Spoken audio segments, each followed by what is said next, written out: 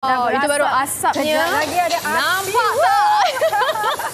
oh, kita dah main api pula kat sini. Okey, kita nak bawakan satu lagi uh, menu yang mana ini semua orang tahu, semua orang suka Ya. iaitu char kway teow. Uh, di stesen terakhir lah. Ya betul. Kita bersama dengan Cik Firdaus dan juga Cik Hazri. Betul, Cik Hazri. Ah, yang sedang Ah. membantu untuk menggoreng char kway teow-nya. Baik, kita terus bertanya dengan Encik Firdaus lah. Char kway teow ni, dia ada dua jenis. Okey. Ah, Betul. Yang char kway teow sebenarnya yang kering. Cha sebenarnya yang kering. Kering. Tapi ada orang suka yang besar char kway teow. Ha. Cha kway teow ni kadang kalau kita customer datang, Okey. dia sebut cha kway teow tu kita kena tanya dia betul-betul. Ah, Ha, takut nanti bila kita hidang dapat yang kering tapi sebenarnya dia nak yang basah. So Okey. cha tu sebenarnya kering. Okey, nak Fatin suka yang basah macam ni Fatin nak order. Saya cakap je Char kway uh, teow cha kway teow basah. Ah, Ha, macam tu. okey, Sebab Okey. saya ada Ah. pengalaman, saya order char teow sebab saya selalu suka makan yang kering. Lepas tu sekali dia bagi saya yang basah. Saya macam, eh, saya tak minta Banyak basah. kekeliruan, eh? Ah, Ya, jadi banyak Semenjak kekeliruan. itu saya dah tahu. Kalau order kena bagi tahu Ya, dengan kena spesifik. sebut. Ya, yang spesifik. Dia tak Ah. boleh sebut cha tu. Okey, Ah. selain daripada kita cakap nak udang besar, udang kecil, kita cakap juga nak basah ke nak yang kering Ya, eh? betul.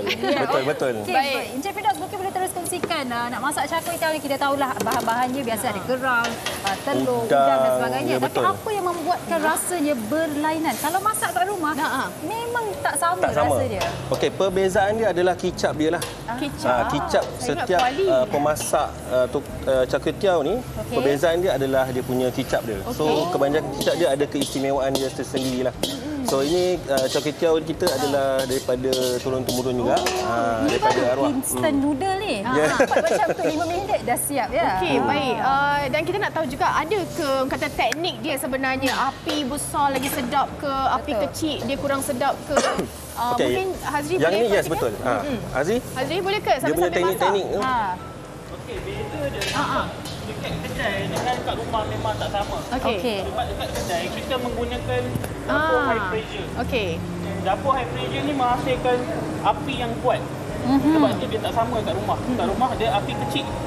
Bila api kuat, teow tu cepat masak. Okey. Okey. Baik. Yang menghasilkan aroma yang sedap. Ah, itu kelainan dia. Okey, dan Ah. saya juga ni ni antara yang saya belajar lah. Mungkin Yep. Cik Firdaus boleh betulkan saya kalau salah. Char kway teow ni apa yang membuatkannya sedap adalah uh, udang tu digoreng dengan minyak dan minyak itu digunakan untuk menggoreng kway teow itu. Betul. Ah. Ha, jadi uh, rasa air udang tu lagi dapat uh, menambahkan lagi dia punya rasa tu. Ha. Okey, okey, baik baik. Wow. Kalau Saya ter saya terpegun Aha. uh, sebab tak pernah depan-depan macam ni. Selalu kita duduk kat meja baru Aha, sampai. Okey, Ah, okey. ini. Sambil-sambil tu mungkin kita boleh tanya Ini ya. buat ganda sedap. Ah, Inilah yang dinamakan wok hei. wok hey.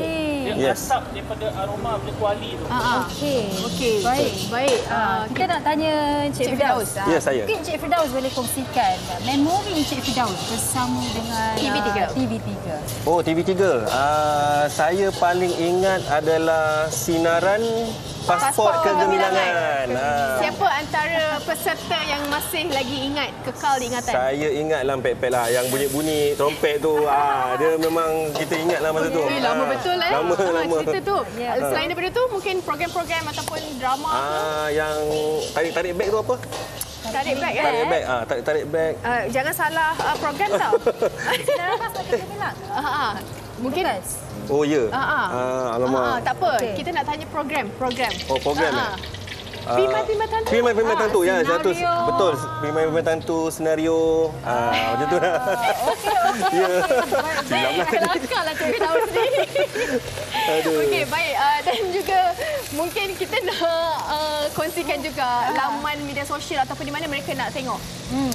Okey, uh, kita punya Facebook adalah Gani Corner. Uh, kita bertempat di uh, PJS 3 Taman Medan. Okey, baik. Okey. Ah, belum belum lagi siap. Dia nak masak ah, apa ni?